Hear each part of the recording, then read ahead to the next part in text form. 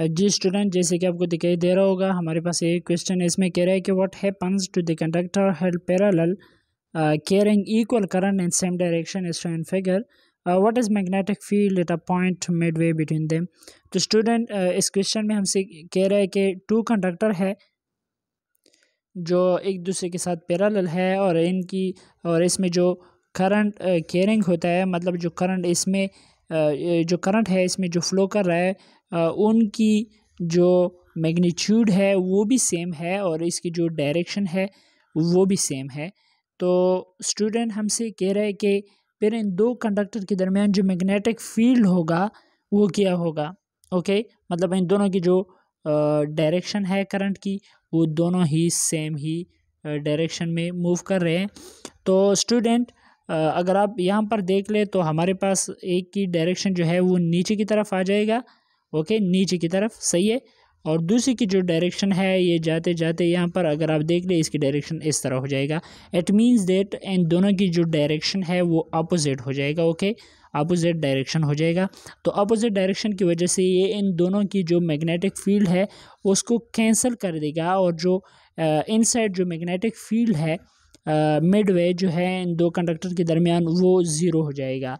तो इसका मतलब ये होगा कि फिर जो कंडक्टर्स है, वो एक दूसरे के करीब आ जाएँगे। क्योंकि ये दोनों जो है फिर अट्रैक्ट करेंगे एक दूसरे को, एक दूसरे को, क्योंकि जो मैग्नेटिक फ़ील्ड आउट आउटसाइड है, वो स्ट्रॉन्ग है okay outside magnetic field strong है और जो इनसाइड मैग्नेटिक फ़ील्ड है, वो वीक है मतलब ज़ीरो है। तो ये दोनों कंडक्टर ये ये भी याद रखिएगा कि फिर इन दोनों कंडक्टर जो है एक दूसरे को अट्रैक्ट करेगा। तो ये था हमारे पास एक क्वेश्चन ओके और हमारे पास एक दूसरा क्वेश्चन है। ये दूसरा क्वेश्चन है इसमें कह रहा है कि what happen to the conductor held parallel carrying equal current and opposite direction is shown figure what is magnetic field at a uh, point them okay? यहाँ पर भी हमसे कह रहे हैं कि टू कंडक्टर है।